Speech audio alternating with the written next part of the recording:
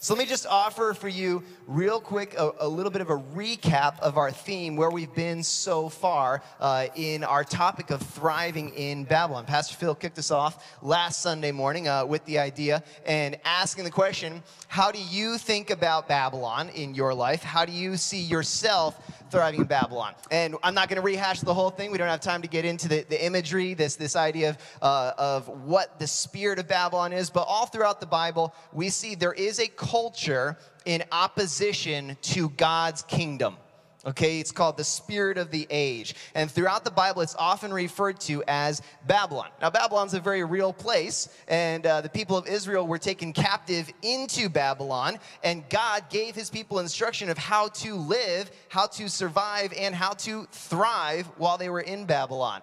But that, that terminology, Babylon, kind of carried on throughout even the New Testament. The uh, New Testament believers used the term Babylon as like a code word to talk about Rome when they didn't want the Romans to know they were talking about themselves like that. And today we can ask that question and say, what is, what is the spirit that is opposed to God today that we have to live in, that we have to survive in, that we have to thrive in? How does that work out in our daily lives? So, Pastor Phil reminded us last week that when uh, living in Babylon, there's a couple possible uh, interaction, couple possible choices of how you would carry yourself. One option is to assimilate into Babylon. That's to adopt the cultural values and hope the culture values you as well. Another option is to isolate uh, from the culture around you. Uh, but he calls us, the Bible calls us to not isolate, to not assimilate, but in fact to infiltrate, to infiltrate, to be a presence in it without being contaminated by it.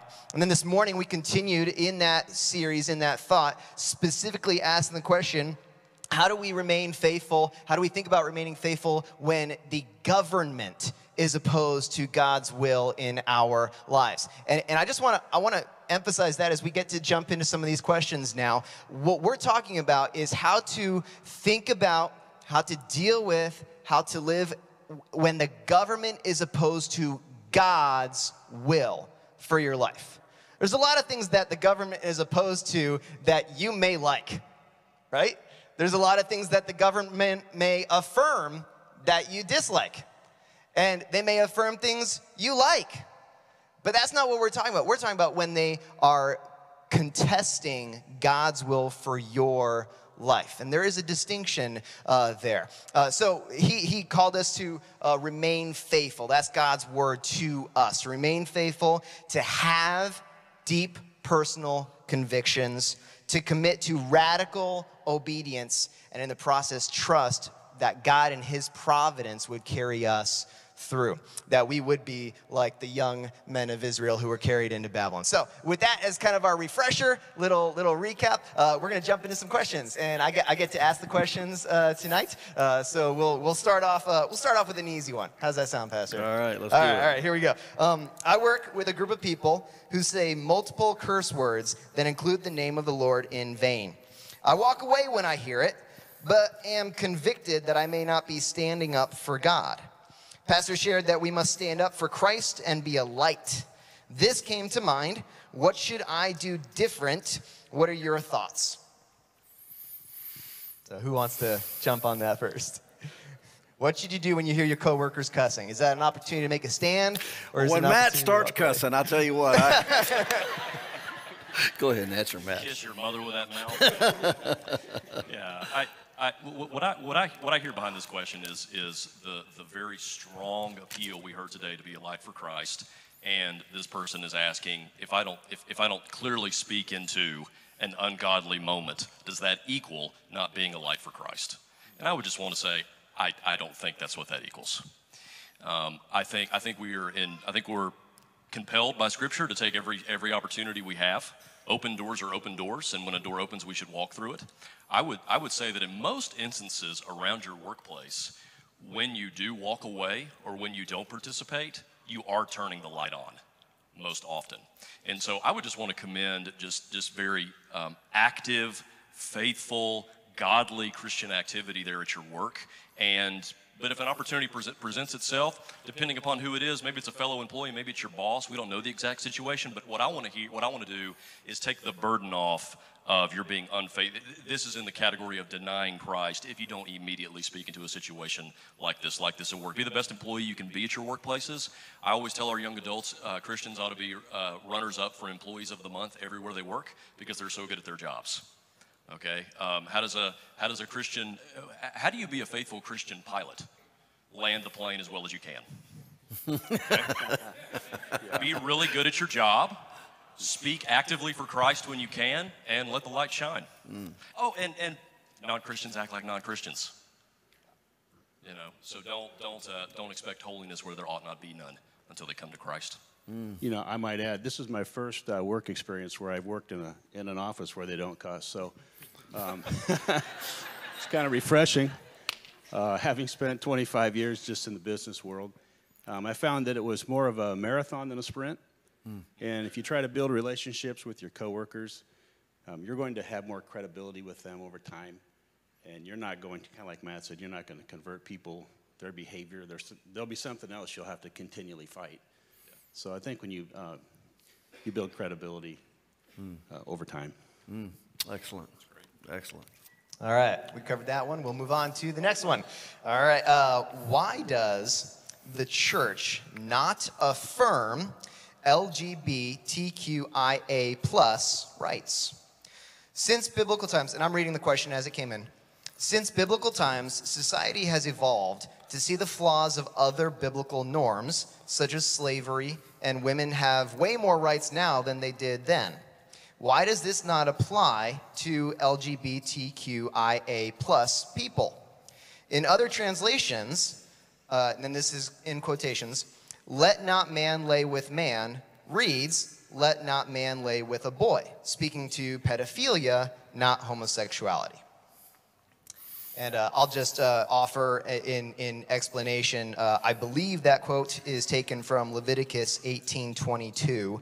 Uh, so we, I, I, looked through just to make sure we were reading it correctly here. Um, I could not find a uh, reliable biblical translation that translated it in the, the secondary translation that they argued. Um, but as often happens, we understand our Bible was not written in English, right? Especially the Old Testament. Uh, and there is often debate over meanings of words, and people use that debate to make arguments for their position of choice. And that probably falls on both sides. So, mm. who wants to tackle this question? Let me jump in immediately on the translation question. And uh, I mean, I'll, we'll go back to the harder part of the question after that. But the First part of the translation question is, is we should not be surprised that as time goes on, translations come out in line with the culture instead of in line with what the actual words of Scripture are. To my side here, I've brought with me, and I'm not going to open it and read it, but I have a NASB, New American Standard Version of the Bible, which, uh, without debate, is the most word for word translation in the English language of uh, the, the biblical text uh, in the original languages. And uh, I assure you that from the front of the Bible to the end of the Bible, it's very clear what the translation and meaning is. We only have to go to Romans chapter 1 to find out what God was talking about because in New Testament times, if I were to go there and read it, it says very clearly men lying with men and women lying with women uh, in a sexual way, and that it was unequivocally an abomination to God. Only people of a depraved situation would, would affirm and approve such a thing as that. And so that's the first thing. The translation issue really is no issue at all because the culture is going to continually try to push. Think of the TEV translations. Think of the translations that are gender neutral that have come out and so on like that, which have gone so far as to say that we can't say he referring to God. Uh, because in line with the culture, we, we're not even sure that God is a he. Well, he's the father of our Lord and Savior Jesus Christ. And so it's very clear. Go ahead. So this is where biblical scholarship matters, um, the, the, people who study the text and, and determine its, its meaning. Um, so you've spoken to the translation component of this question, but let me just draw the attention to kind of the second idea where uh, we have over time, there, the argument goes that over time we've come to understand things differently than the, the way they did back in biblical times. The uh, illustrations used are slavery and women's rights. So, why is the Bible, why are Christians not keeping up with the changing times on other issues uh, as well? I'll take a quick uh, try. I say my answer will be probably short, and that's probably okay. Uh, because I believe the Bible calls us to be holy. Yeah. Jesus said, Be holy, for I'm holy. And so as I read the word, I see things that are not holy and things that are holy. And so uh, we don't um, promote, the question was, why don't we affirm? Well, the Bible affirms holiness. Mm-hmm. So that would be my answer. Okay. And that holiness applies to anyone of any sexual Absolutely. orientation or. On the, on, on the note of on the note of why do we at the end of the question regarding LGBTQ it said rights uh, I, I, I think you're always going to have the conversation about rights for LGBTQ it's always going to be connected with marriage that's going to be that's going to be the right and that right is uh, the law of the land in our country now I think it's very important for us as Christians to to just in addition to what Kirby is saying with holiness um, any sexual activity or expression of sexuality outside of the design of God given in the Bible is sin. Any expression of it. And I think it's very important for us as Christians to remember uh, that when it comes to the rights of LGBTQ people, that is marriage, uh, please remember that an LGBTQ marriage isn't marriage. It's not a marriage. It doesn't matter what the law of the land is in that case. The, the, the state doesn't own marriage. God owns marriage. This is a sphere issue. There's the family, the state, and the church. State has nothing to do with what defines marriage. It's uh, one author says same Christians ought to refer to same-sex marriage as same-sex mirage. Mm. All right. It looks like the real thing, but it's not. Now, as we talk today, we wanted to be empathetic. We understand that this is a an issue in families or a personal issue for you here in this room. The place where we want to put the emphasis as Christian pastors is on the fact that anything that goes against God's good design brings destruction. And so we want to be very clear that we want to lead you away from destruction by telling you by telling you what's true. So we'll talk to the we'll look at this word. It says here since biblical times society has evolved. And, uh, there's that word, isn't it? That, that word shows up very often. Yeah, we've evolved in many, many ways. Uh, in fact, thank Darwin for the word and for the concept because it's crept into every, every, every area of thought and every aspect Econ- economic evolution and educational evolution. Well, here we have societal and spiritual evolution. And uh, the problem with that thought is, is that God's word really hasn't changed. It hasn't evolved at all. God's word does not evolve. Forever, O Lord, thy word is settled in heaven. And it's so important for us to understand that. Uh, the question about biblical norms such as slavery and women have way more rights now than they did then, I, I want to point out to you that Christianity itself is the reason that slavery has been fought so hard in all of the world. Uh, you've heard of a man named William Wilberforce. How many of you know who I'm talking about? Well, William Wilberforce in England, even before the United States, he made it his life's purpose and goal to do everything he could to make sure that people knew that they couldn't own other people. The Bible put up with lots of things, such as multiple marriage partners in the Old Testament. God, for the hardness of man's heart, put up with a lot of things. Paul, even in the New Testament, dealing with the subject of slavery, talking now, listen, not slavery as we remember in the early days of the United States and its founding, not this kind of abusive, but slavery was more indentured servitude. It was the way to pay off your debt. People were enslaved to one another in order to pay debts off. And even under the Roman Empire, some of the slaves lived much better than some of the freemen because they were often employed by people and they were paid to learn so that they could serve them as lawyers and doctors and many other things. This was slavery under the Roman Empire. Now, but let me just say this. Paul said very clearly, he said, you know, if you can find your way clear to get free of slavery, then do so, but that's not your primary goal. Because in whatsoever state that I find you or the Lord finds you, be content Seek to serve Him, whether you're married or unmarried, whether you're a slave or whether you're free, no matter what the situation was. But I will contend that Christianity did more to eliminate slavery as we knew it in the United States more than any place and more than any, any single effort in history. And it was Christianity that brought women to the forefront and gave them any degree of honor, any degree of freedom, any degree of a voice. It was only in Christianity that was found. So, the premise of the question, thank you for the question, it really isn't right because the rights, now what you mean is this you mean something a little bit different. The rights of women to not be subservient or to be in subjection or submission to male authority. That's a different question altogether. But we live at a time when it, women's rights are equated to being able to not live biblically. Well, it's still biblical for women to live in subjection to their husbands. And we're going to get there in Ephesians. You're not going to like it, but I'm going to preach it anyway. And it's to their own husbands, not every man. Oh, it is so very, very important. So I'm going to contend that slavery has been benefited by the preaching and teaching of the gospel more than any other effort that's ever been in the world to eliminate it. And women have been elevated to a, to a place of appreciation and a place of participation that they never experienced, not even in Judaism. It never happened until Christianity. Great. So um, we're going to jump to uh, this question. It asks, uh, and this is an opportunity, maybe Pastor Phil, to explain a little bit what you were talking about this morning with your five essential convictions. Oh, yeah. Um, question asks, with all the Bible tells me to do, how do I go about arriving at my five essential convictions? And what is the difference between what the Bible tells me to do and convictions? That is a great question. I appreciate whoever has asked this question. I'll jump in on it and you guys jump in afterwards. But let me let me just say this. My encouragement this morning was to be was more self-revelatory. Uh, that is is to ask yourself a question. You know, can I write down some things that are non-negotiable in my life? It's not to say that there are only 5.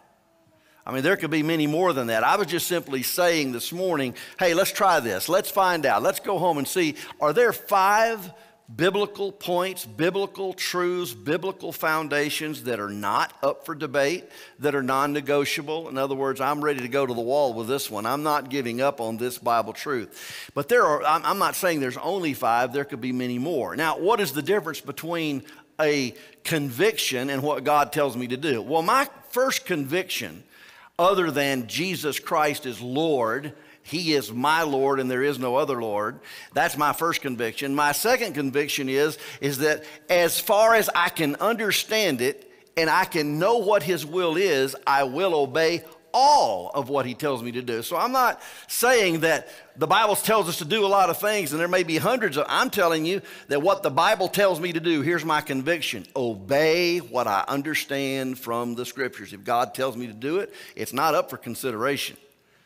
it's just for me to obey it. I don't consider and decide what God tells me to do. I just obey what God tells me to do and I leave I leave the results up to him. So, biblical convictions, they are those decisions that you make in your life that are non-negotiable based on the word of God. That's a conviction. Go ahead, Kirby. What do you got? Uh, well, thank you. Uh, I was just enjoying the answer myself. uh, what came to my mind was Galatians 5:16. Yeah. Uh, walk in the Spirit, and you will not gratify the sinful nature of the flesh, because the flesh wars against the Spirit, and the Spirit wars against the flesh. It's just like Romans 7, when Paul said, What I want to do, I don't do. What I don't want to do, I do, and sin dwells in me. So I agree. As you read the Word of God, and I'm studying through James right now, I mean, one of the first things that said was, when you count when you uh, count it all joy when you fall into various trials. Well, that's that's that becomes a conviction for me mm-hmm. Because that's how I'm supposed to respond to trials, and so that's just an example. Mm. I read my word, uh, read God's word, and I develop my convictions. Along with Galatians, along with Galatians 5:16, I would just add Deuteronomy 29:29. Mm. The secret things belong to the Lord our God, but those things that are revealed to us belong to us and to our children. Mm-hmm. And so, be a Bible reader. Uh, read through the Bible, know God's Word. Remember that it takes the whole Bible to make a whole Christian. Make that your primary activity. That Make is sure you- excellent. Make sure you read God's Word. Did you hear that? That- That's it's why we hired Matt. pretty I hired straightforward. this guy because of that. It takes the whole Bible to make a. Write that See, see, down. now, now I have to say I got that from somebody. Da- It came- it came somewhere. Write that down. That is a Mattism, if I ever heard one right there. That is that is really good. Originality is the ability to forget where you heard it That's from. right. That's, that's, that's, Some, someone once said, okay. very pithy statement. Everyone will remember. That's excellent. So moving on, uh, actually, I'm going to take a take a pause real quick just to this is the, your infomercial here for for a moment. Uh, we're about halfway through our Q and A time uh, for this evening. Uh, if you have a question, maybe hearing this whole discussion up here that we're having is sparking some follow up question in your mind. You can ask that question. We still have two more weeks of this that we're going to do. And if you uh, submit your question this evening, we'll get to it next week uh, when, when we're up here. Uh, so the way you do that is by taking your app out on your phone, click the Awesome August tab, and then click the Submit a Question. And it's, it's that simple. And if you're, if you're a low tech person uh, and, and you don't have the digital footprint, you can just write it down on a piece of paper and hand it to one of the nice ladies in our office uh, up front, and they'll make sure it gets into uh, the pile as well. So, we just finished uh, talking about convictions, okay, and how that all plays into what are my five essential and all that. Uh, and we found out we need the whole Bible. That's that's our that's our Awesome. answer. Okay, so uh, that's going to lead into uh, two these next two questions. I'm going to combine two questions because I think at the core they're asking a very similar question. Uh, since some employers can now mandate what substances can be put into the employees' bodies, i.e., the COVID vaccine, do you think this is wrong? Is it okay for a believer to be against this because of their faith? And why is the government not protecting them from being fired? Similarly, uh, what should the Christian response be regarding mask wearing and mask mandates if they are convicted that masks are physically harmful and or oppressive? So I think I'd actually like to jump in. Well, would you do Is that? Is that all right? Uh, Absolutely. I've, I've kept quiet so far as much as I could. um, and because I actually just got asked this question uh, about, about two weeks ago, someone reached out to me uh, because they're, they're trying to figure this out for themselves and, and how they should respond in their work environment. Uh, and, and what I tried to communicate there was we have to be very careful that we make a distinction between what my uh, legal rights at a, ci- as a citizen of America, as a citizen of the state of Iowa, as a employee at, you know, you fill in the blank wherever you're working. You have rights that are legal rights, that are legal uh, preferences that, that you are given. Um, but then over here, as a believer, you have biblical rights. You have biblical responsibilities. Okay, I stole that from someone. Uh, that's, that's at some point. It was Phil. Um, I think it was. I think it was me. oh, wait, wait. fair, fair Sure, point. credits given all on the stage.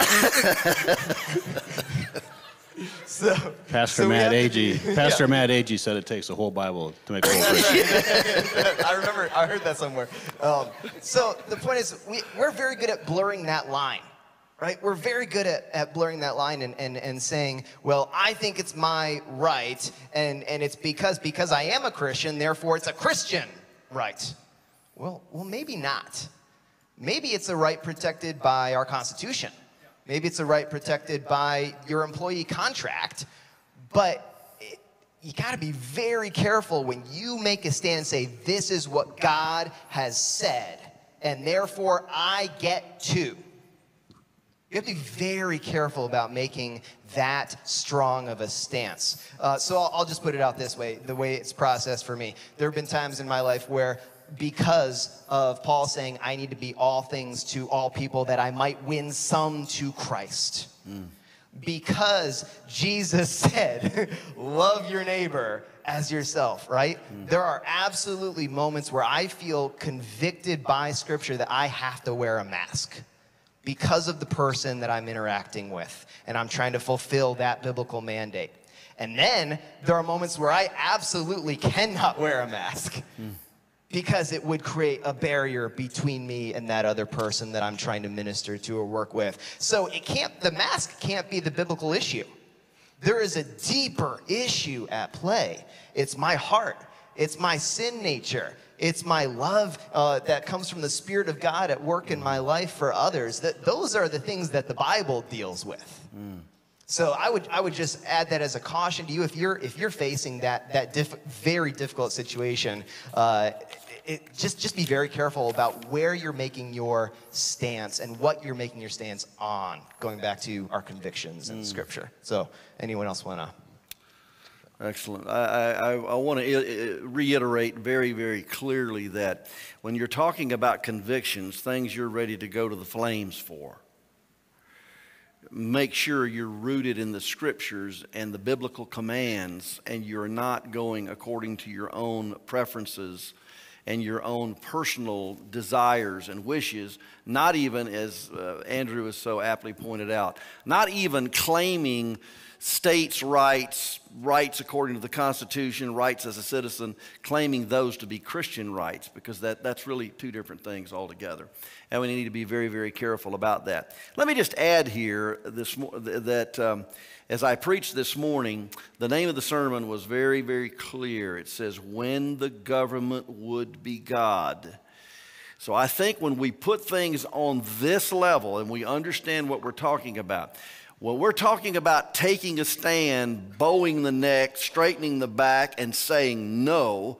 We're talking specifically about when the government demands that I do something that is completely and specifically against what God has told me to do or not to do. Shiphrah and Puah were told, kill the babies. They could not kill the babies in Egypt. They were told to do that. Listen, let me carry it even further.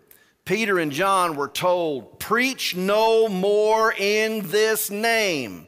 They could not obey that command. You understand? So we're talking about the we're talking about when the government would be God, when they put their authority and their word over the specific and clear commands of God. That is very, very, and when they try to take its place, take, take God's place. So that is the subject matter. It, I, I, I went to the most obvious passage in the Bible on this subject. Here's my image, bow down and worship it because it represents me. Well, as a Christian, as a believer in Jesus Christ, there can never come a point where you acquiesce and you bow to worship another God. Have you ever heard of commandment number one? So, see, there's, there's times when Christians cannot bow, but they may burn. Very important for us to understand that. All right. All right. We'll move on to uh, the next question. Should the church ever close its doors because of a pandemic or any other government mandate?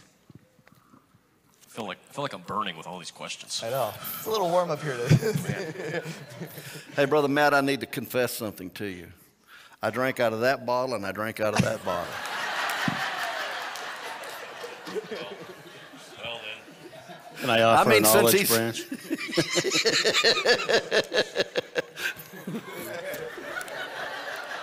that was for that great quote you had. That's it, man. I might, I might just step in on this one. I think maybe what they're saying uh, is, is there a time when the, when the church should close its doors because the government has said you can no longer preach the gospel? I mean, if there was a national disaster, if we had a typhoon coming, I don't know, I'm just thinking out loud things along that line, then we probably would close the doors. yeah. You know, uh, but I think the I think the flavor of the question is: Is there a time when the government can tell you stop preaching uh, sermons that say when, gov- when government would be God, Yeah. um, then I believe the answer would be no. You know, we're called to preach the gospel, and, and we'll be here until, I guess, the building is gone. Mm-hmm. And then we'll just be under the outside. mm-hmm. So I guess the answer is no. We would never close our doors. Which is and, and, the great thing is we have a model for that already for some of our brothers and sisters around the world. That's right. Who are already who are already in contexts like that where a building like this is just unthinkable. because it's just too public and it's just it's just too it's just it's just too visible. I'm I'm I'm remembering that Paul told Timothy he anticipated this because he, he, tells Timothy to be ready to preach in season and out of season. Mm-hmm. And he doesn't mean like you know be ready to preach when it's fall and summer. he means to be ready to preach when it's uh, when it's when it's popular and when it's not popular. Uh, whatever the whatever the season of the day is, you need to be, you need to be ready to ready to preach. And um, I, I think the principle that just needs to guide us as Christians is if God if God commands it, we have to do it if he commands it, and if he forbids it, we can't do it. And I think if we have those two guiding principles, we'll be we'll be very faithful. I mean, the way the way I consistently, I, I was sitting there listening listening listening to Pastor preach today and thought, the the speed at which the culture has moved in regards to its militancy against the church, a church like ours, is almost analogous to the way technology has changed. It has been so fast. I mean, if you guys sense this, it has been, so, it's like the snap of a finger. I mean, I remember, it's just, since I was in high school, things were relatively, relativism was a big thing. You believe what you believe, and I believe what I want to believe. If you go on social media, cancel culture is not relativistic. No. Cancel culture is legalistic. You confirm to the standard, or we're going to, that's not, that's not, that, that has changed in a decade. It's incredible to me. And so I was just listening to that thinking, um, we, we, uh, the, this is a sermon to equip the saints to be prepared for suffering. And so I think one of the, one of the best things we can do as pastors today is, is, to, is to prepare you to suffer. Um, and to and which it, which is which the Bible tells us to. Peter says, "Prepare yourself for suffering." Peter says, uh, "Don't be surprised." Yeah, a surprise first, is something you four, yeah. yeah. A surprise is something you didn't expect right? And so we need to we need to expect we need to expect suffering. But I'm astounded at how quickly, and I've had conversations with many of you about it has just it has been the turn of a page over a couple of years, and we have landed ourselves in a different scenario. And um, I think it's really time for us to remember that Christianity does very well in hard times. Amen. It does very well in hard times. This is an all-weather faith. Um, the center of it is a man who was killed, mm. and so we we win that way when you see when you see when you see Canadian pastors thrown in prison, just just just in your head say what that Canadian pastor ought to do is go around the corner and obey Jesus and throw a little party, because Jesus said, "Rejoice when this happens to you." Mm. Rejoice when you suffer for my name's sake. Um, the disciples in Acts 4 are, are thrilled that they are considered worthy to suffer for the name of Jesus. But friends, the question is, are we worthy of our sufferings? Mm because it's um, because it's because it's here. And so I'm just grateful for a sermon that equips us to think that way. You know, I, I, I referred to it, and you know, the time gets away, and and uh, didn't say it this morning, but let me read you. Uh, Peter so clearly tells us the situation that we're in. He's speaking to those uh, those Christians and Jews, uh, those true converts that have been scattered, what we call them the diaspora, and uh, they they were scattered all over because of their faith. They were running for their lives, so to speak. Here's what he says in 1 Peter chapter 4 verse 12. This is so important. Beloved, do not think it strange concerning the fiery trial which is to try you as though some strange thing had happened to you. But rejoice to the extent that you partake of Christ's sufferings, that when his glory is revealed, you may also be glad with exceeding joy. And if you are reproached for the name of Christ, blessed are you, for the Spirit and glory of God rests on you. I find it very prescient that he says, look at this. He says, do not think it strange. Do you know what's strange? 250 years of total religious freedom. That is strange. What's not strange is, is that we would be persecuted for righteousness' sake. This is what Peter declares so clearly.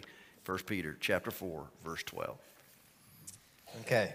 We've got about two minutes left. Two minutes. Okay, so this is a, a rapid fire question, okay, that I'd, I'd, like a response from each of you on here. Uh, what are some things now that you see very clearly we shouldn't bow to that we already are?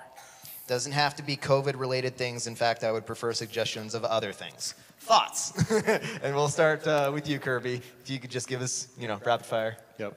Uh, when you're a, an accountant type, things are black and white. So um, there's not a lot of plaid in my life. So uh, the first uh, the first answer that comes to my mind is the things that we should. What was what was the way they termed it? What we should be.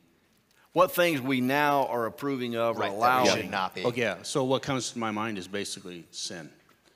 Uh, what am I doing? What am I involved in? What am I looking at? What am I, what am I saying? What am I thinking? Uh, what am I allowing to influence my life? Those are the things. You know, uh, we, we, tend, we tend to, when we come to questions like this and we come to these situations, we tend to look around and look out, you know, and say what's going on and we're not fighting it or what's happening and we're not standing up and those kind of things. But the truth is, is the best way to get a congregation full of people who are standing strong is when we have individuals who are standing strong. And Kirby's nailed it. The best place to stand strong is to stand strong against sin in your own life. It's to face the facts. Am I envious? Am I jealous? Am I hateful? Am I unkind? Do I demonstrate the love of God in my life? Do I pray? I mean, I have to look at myself. The best way to have a strong congregation is to have a bunch of individual Christians who face the facts, look in the mirror, and say, Boy, Kirby, you nailed it. You know, what do we approve of? We give everybody else a hard time and we give ourselves a pass many times on bad things in our life. Boy, God's called us to be holy. Kirby said it a minute ago. Boy, be ye holy, for I am holy, the Lord says. Boy, we ought to just stop and think man, what am I approving of and doing that is just not okay? Amen. I, I, guess I could just, just keep it on the personal note and say, don't uh, don't bow to the cultural idea, the, the culture's idea that your that your faith is private. Uh, Yeah. Don't don't bow to that. I think I think that we've been we've been sold that for a long time. Uh, the, the, the, problem with saying our faith is private is there, there's just nothing. Uh, Christianity's personal, but it's never private. That's right. Um, you, you trust in Christ personally. You affirm you affirm your doctrines personally. All of that is personal, but it cannot it cannot be private. So I think I would I would just I would just amen what Kirby and Phil shared, and um, I think that's I, idols every idol in my life should be like Dagon in the temple and be face down crumbled. Mm-hmm. That's what every idol should be in my life. Mm. There's just there's just it's full stop, mm-hmm. destroy it. Mm. And the problem is, you know, some some idols just need to be destroyed outright, and then some idols I have to learn to live with them, like the idol of money.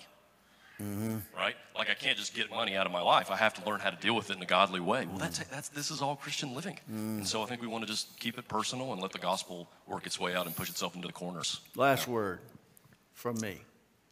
You can say anything you want to go ahead. after You that. got, you got the last word. Last word is don't you think pride is a big problem? You know what God hates? He hates seven things, and two of them are pride. Pride, even religious pride. Wow. Um, so there you go. Your questions have been answered uh, for this evening. Would like to remind you if, if this stirred up another question in your mind, feel free to submit it and we'll get to it next week. Um, we are going to take a moment just to pray and uh, then we will head on outside uh, for all the, the stuff. Yeah, Kirk. Can I say something just real quick? Yeah, absolutely. Because I think, I don't know, maybe I'm the only one, but I, today was a heavy subject. Uh, if you think it was a heavy subject, just raise your hand. And not trying to talk you into it, but uh, it was it was like a wake up call, I think, for us. And so I was just thinking of Isaiah uh, out of chapter 41. If I could just read a couple verses here, beginning with verse 10. So I think we need to be encouraged. I think we need amen. to walk away from here not as though, oh, wow, you know, this is really bad news and we lost and it's all over with. But uh, Isaiah 41:10. So do not fear, for I am with you. Amen. Do not be dismayed, for I am your God. I will strengthen you. I will help you. I will uphold you with my righteous right hand. And then verse 13 For I am the Lord your God who takes hold of your right hand and says to you, Do not fear, I will help you. Do not be afraid, for I myself will help you, Amen. declares the Lord. Praise the Lord. Amen. Amen. Amen. Let's pray. Dear Lord, I just uh, I thank you for your word, the foundation that it provides for our lives, the wisdom that it provides for us, the encouragement, the conviction, uh, the truth that it brings for us. God, I ask that you would not let us grow weary in doing good, but allow us to stay faithful and pursue you in all that we say and do and think that we would treat others the way you have treated us with grace, with love. Let us be the lights that shine in the midst of a crooked and perverse generation. For your honor and your glory. And thank you that we can come together for this time. Thank you for the food. Thank you for the fellowship and the fun we're about to have. We love you and we give you all the praise in Jesus' name. Amen.